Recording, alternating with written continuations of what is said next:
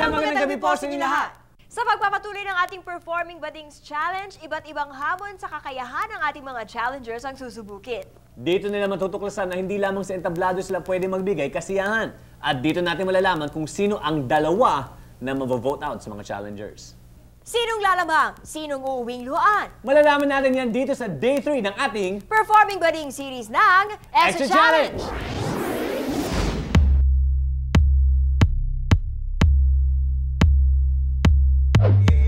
Video Kit Challenge, pataasan ang score ang labanan. Pero ang kailangan nilang ibirit, mga kantang panlalaki. Sa challenge na ito, nangunguna si Buba na nakakuha ng score na 97.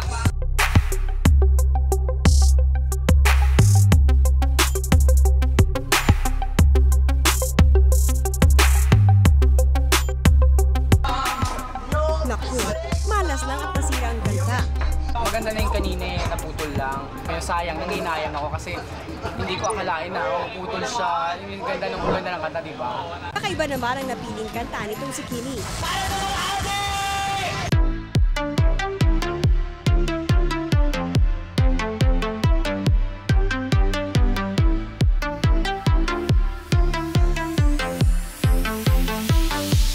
Kimi, pa-demure pa naman ang suot mong gown.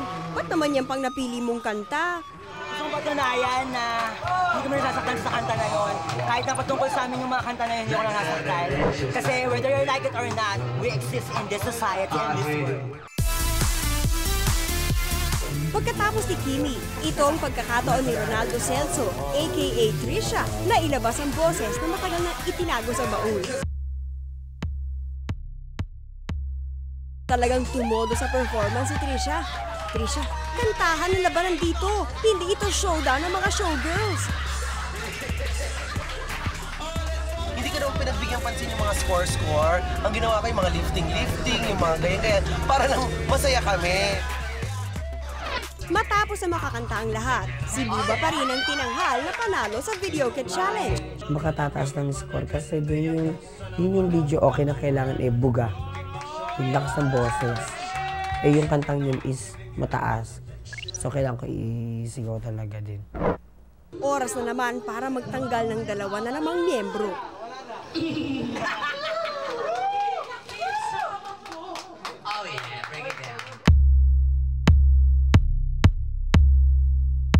As you know, merong dalawang members na naman mula sa anim na mavovote out. Ready na ba kayo? Isa-isang pumunta sa BOA voting booth ang mga performing badings. Kung sino ang sa tingin nilang hindi nakarapat-dapat na magpatuloy ng challenge, bawat isa, kailangan bumoto ng dalawang taong tatanggalin.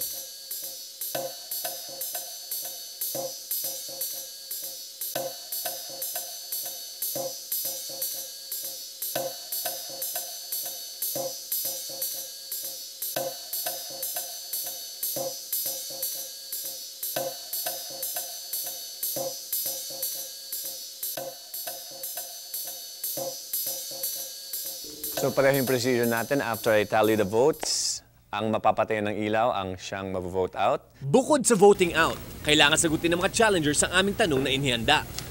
May karagdagang putos din ang magiging kasagutan nila sa tanong na ito. We'll call you in one by one. Quiet lang sa corridor.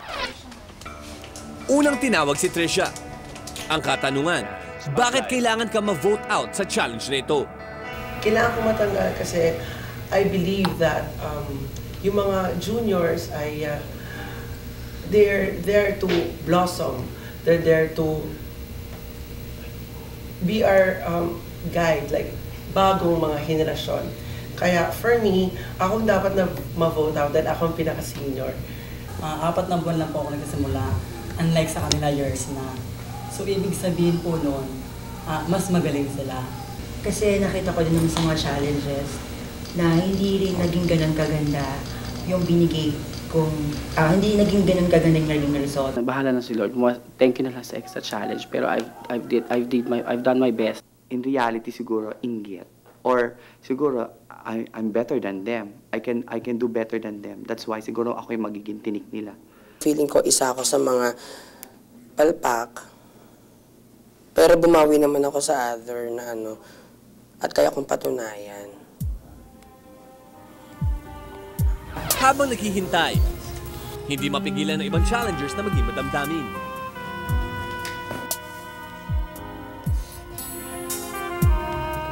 Iyak. Hindi ko kinaya, pero still happy. Kung ano man yung desisyon, dapat masunod, di ba? Kasi nag-usap-sama kami sa ibang pagkakataon, ibang pangyayari, hindi yung common. Gusto yun. Hindi ako naiyak kasi ako yung matatanggal. Um, I cried kasi yung bonding. Tsaka, it's a dream come true na makasama sila lahat. Pagkatapos bilangin ng mga boto at ang puntos sa question and answer, ito na ang moment of truth. Ang mamatayan ng ilaw ang siyang matatanggal sa grupo.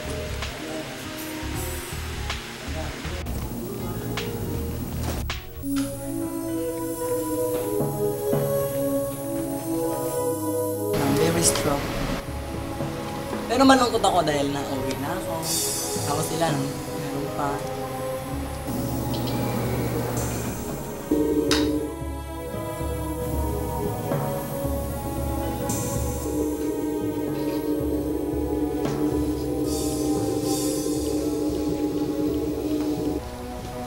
Alam ko na God have plans for me. Marami siyang plano para sa akin. And this is Kayong Final Four, you've been through a very tough day. So tama ng challenges. Pahinga na kayo. Matapos ang dalawang araw, apat na challengers na lamang ang natitirang maglalaban-laban upang matawag the ultimate performing bading.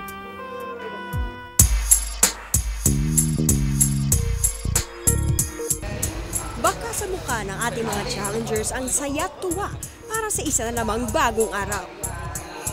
Sa inyong ayos at itsura, patunayan carry ng inyong acting baliw powers na makumbinsi ang isang taong pakainin kayo.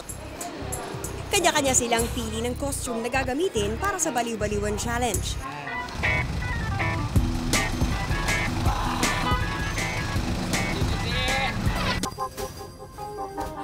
Si Vodka ang unang gagawa ng Baliw-Baliwan Challenge. Hindi alam ni Vodka kung anong una niyang gagawin.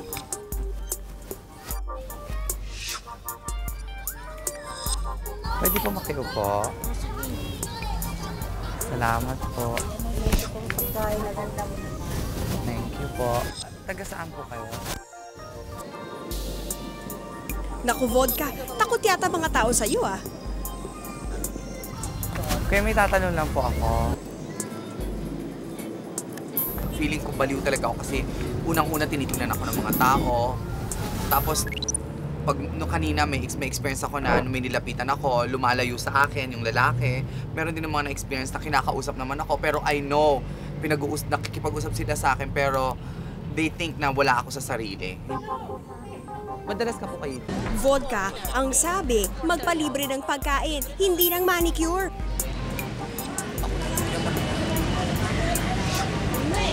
Ay, hindi pwede. Pwede. Ano? Mayaman naman si kuya, babayaran mo, di ba? Ano kuya? Hindi nga ako di babayad eh. Kasi pagbabayaran mo ako lang. Naku, Vodka, lagpas na ang 30 minutos mo, pero soft drinks lang ang naipabili mo. 5 points ka lang, Iha.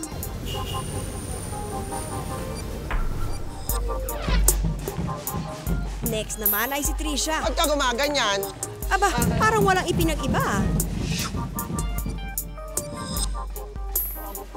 Kinabahan ako muna na matagal sa sa FX pa lang kasi kinakabahan na ako bago bumaba.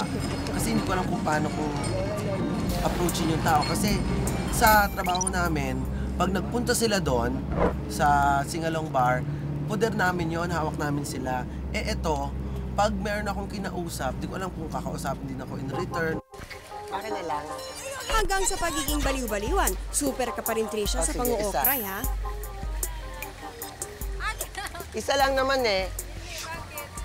Alam mo ba, yung asawa mo, kahapon kasama ko. Ayan, akin, akin. Pakainin mo nga ako. Libre mo nga ako niyan. Libre niyo naman ako. Ba't kayo tumatawa? Classmate ko kayo, hindi Ako ang teacher nyo! Teacher nyo ako! Bukas sa'yo assignment, ha? Huwag kakalimutan, ha? Eh, umubra kaya ang powers mo, Trisha, kung pulis at tanod na ang katapat mo? Kakain lang po eh. Wala po akong pera eh. Naandap sila eh.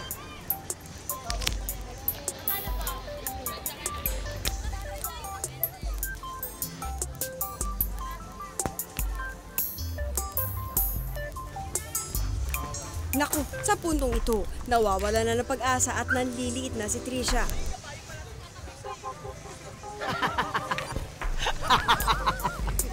Buti ka nakagatin na kabayo. Magjowa kayo. Ay, ba't nag-holding hands kayo? Ako rin.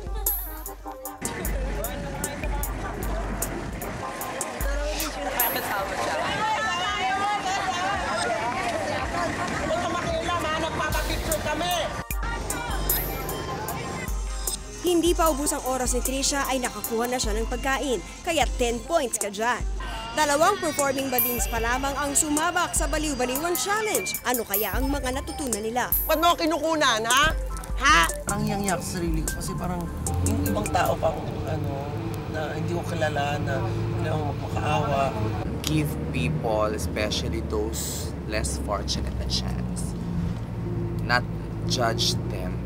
Sa City Hall ng Maynila namin dinala si Buba para sa challenge na ito.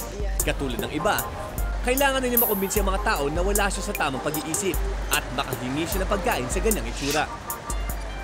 Mukha ba may sira? Ate, pwede pa yung mga pangkain? Kahit konti lang. Gugutom na kasi ko eh. Alam mo, iniwanan lang ako ng pamilya ko eh. Sige na naman, kahit konti lang. Si Reggie Jaya naman sa Buendia mambibiktima. Ale, baka pwede pong makingi ng pagkain. Ale.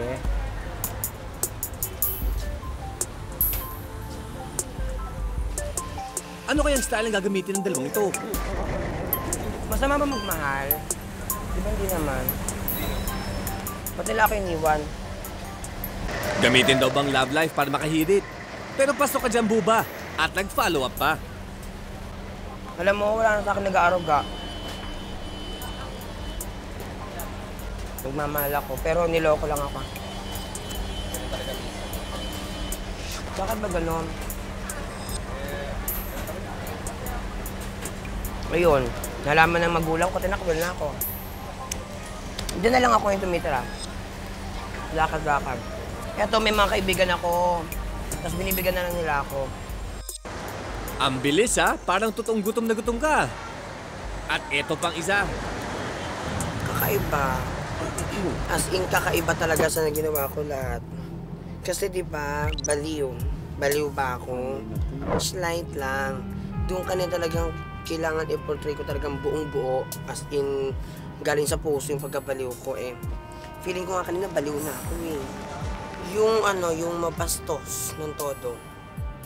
Kasi di ba usually sa mga ganyan pag may nangihingi, minsan ibibigyan ka yung mga para madudumi na, yung tira-tiran. Ako na lang isa, gutom na ako. Ayan o, yung tira mo. Ano yan? Eh si Reggie Jaya, mukhang seryoso at hindi pa yata alam kung sino kakausapin. Yes, bak pagkain lang po. Madam, baka pwede mo makahingi ng pagkain. Kuya, ate, baka pwede mo makahingi ng ano, pagkain. Maniwala kaya sila talagang wala kayo sa tamang pag-iisip. Kasi sasabi ng pamilya ko may ganun daw ako. Ano naman, nahirapan na nga ako eh. Lalo wala akong masyado makain.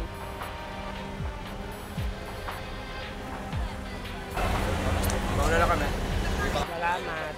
Ingat. Salamat. Mukhang may prospect na si Reggie Jaya. Ate, pwede po sa isalamat po. Marami sa Pwede po kayo makausap. Pwede po ba kayo makausap? Kahit, kahit konti lang po. Kasi binigyan mo akong pagkain eh. Nakakahiya sa'yo. O ayan, Reggie Jaya, pagkakataon mo na para tsumika sa food sponsor Nakakahiya, mo. Hindi mo ba nakakahiya? Hindi, huwag ka matakot. Hindi naman ako masama eh.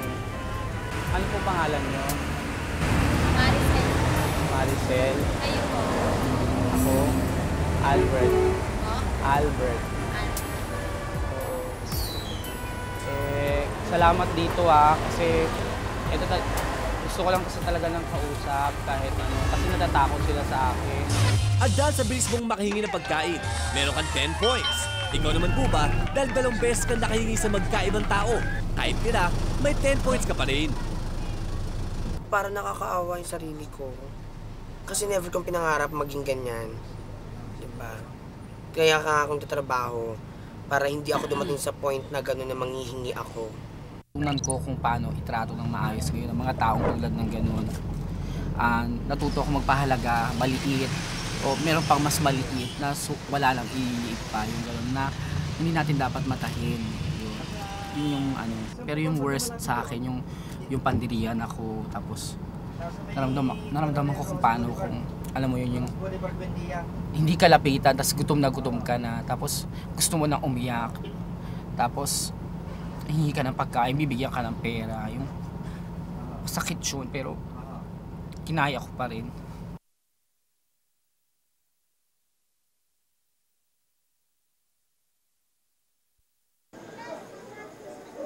Abangan bukas, anong mangyayari kung ang mga performing badings meet the Golden Gates?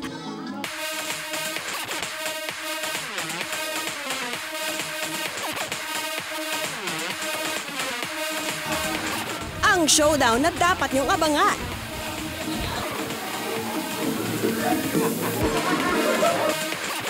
Dahil dito sa Extra Extra, kahit sino pwede maging bida kung sa tingin nyo kaya nyo ang aming hamon. Huwag nang palalampasin na pagkakataon. Ako po si Paolo Bediones. Magkita-kita tayo muli bukas dito sa programa kung nasaan ang tunay na drama ng buhay. Ako po si Miriam Jamba. Kami ni mga kapuso dito sa GMA at ito ang performing bading series ng Extra Challenge!